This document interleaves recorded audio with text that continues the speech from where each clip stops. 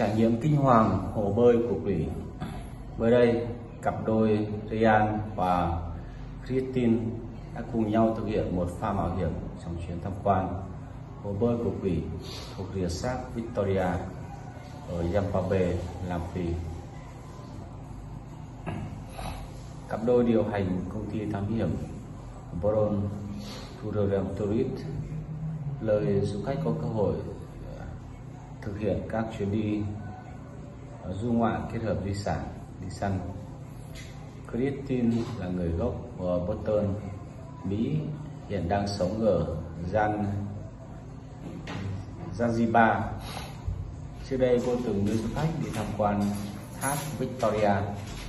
Có một nhóm du khách dự định đến thăm hồ bơi của quỷ gần đây nhưng họ đã rút lui vì à, sau khi thấy quá nguy hiểm cô chia sẻ. Trước đây chúng tôi đã cũng đã đưa một số đoàn khách đến tháp ở Victoria nhưng chưa ai dám cho họ dám trải nghiệm uh, cả. Việc tham quan tháp Victoria là một trong những bảy kỳ quan thiên nhiên của thế giới. Là mục tiêu trong danh sách của Christine vì vậy, cô và chồng đã đến thăm nơi đây vào đầu tháng.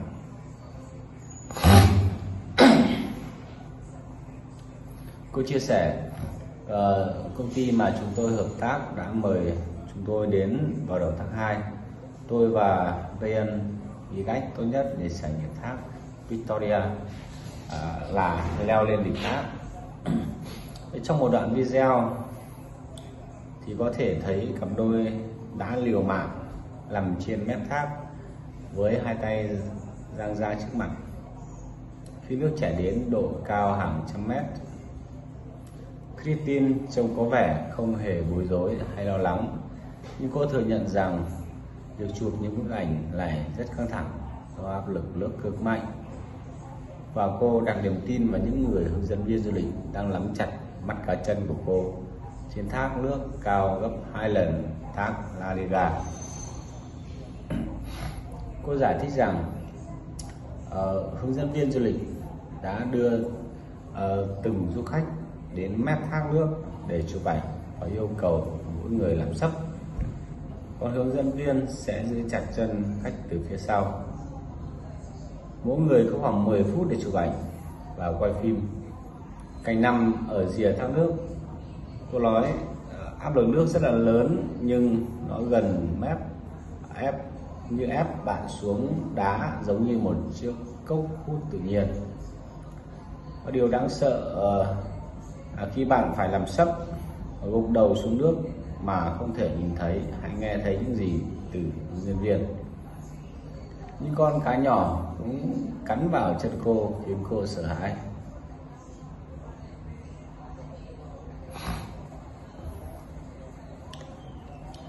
Christine chia sẻ rằng cô chưa từng, chưa bao giờ sợ độ cao. Nhưng khi bước đến rìa hồ bơi của quỷ, cô cảm nhận tim mình như thắt lại. Còn Ryan thì rất sợ độ cao và thậm chí ban đầu. Còn không chắc mình có thể lên tới đỉnh của thác nước này hay không, nhưng anh ấy thì đã làm được.